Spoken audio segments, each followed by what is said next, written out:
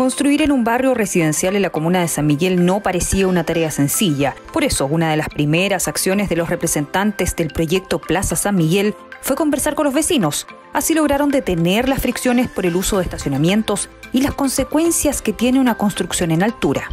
Tenemos una deuda con la comunidad, tenemos una deuda con el, eh, con el medio ambiente, solo no lo vamos a lograr. Creo que esto es algo y amparados en el compromiso podemos hacer un movimiento de industria que es un poco lo que estamos tratando de decir. Esta obra recibió el sello del Compromiso PRO, cumpliendo con los estándares exigidos para mejorar en el ámbito de los trabajadores, la comunidad y el medio ambiente. Tenemos distintas deudas en el fondo como, como industria. Entonces, estas deudas, la mejor forma de, de tener menos desperdicio, menos materias primas, etcétera, con, con el país, se logra a través de la sostenibilidad un sello que tiene un enorme trasfondo y que lo comentan quienes siguen trabajando en ser sostenibles, pese a haber obtenido este reconocimiento.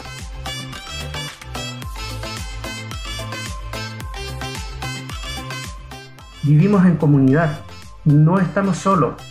Y lo que yo hago eh, genera eh, de alguna manera elementos que afectan a otras personas. Yo no estoy aquí solamente para satisfacer eh, mis necesidades, eh, mis gustos, mis sueños, mis requerimientos. Ojalá el yo seamos capaces de dejarlo un poquitito al lado y empecemos a preocuparnos de una manera más equilibrada también del tú.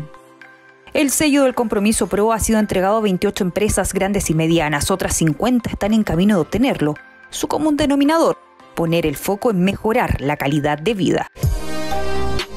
A mí me gusta asociar calidad de vida a todo lo que está vivo, que la comunidad está viva, la comunidad respira, alega. No, la comunidad se, se, enfrenta a una, a una, situación incómoda, hoy día está empoderada. Quisiera eh, resaltar que esto que nosotros estamos haciendo no es filantropía, eh, no es eh, solamente una cuestión de carácter social, no. Esto tiene que ser la forma en cómo las empresas hacen su gestión eh, como tal, ya sea en, el área pública o en el área privada, deben eh, pensar en la integralidad de los elementos que rodean el desarrollo de un proyecto y no solamente en una cuestión meramente monetaria y que tiene que ser eh, lucrativa.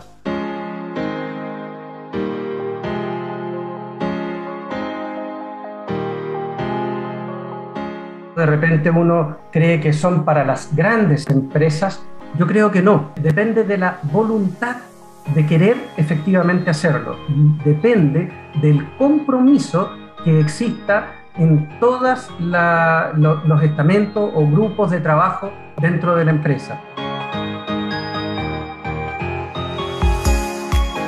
Nos llena orgullo pertenecer al gremio de la Cámara Chilena de la Construcción y, y quisimos respaldar fuertemente la iniciativa de nuestro presidente y en ese sentido hacemos un llamado al resto de todos nuestros colegas y empresarios del, gremio para que se sumen, ponernos una meta que sea desafiante, que lleguemos a, lo, menos a la mitad más uno de los asociados con un sello, porque eso va a dar cuenta de que, que como gremio vamos a marcar una diferencia no solo en, la en las industrias nacionales, sino que además como país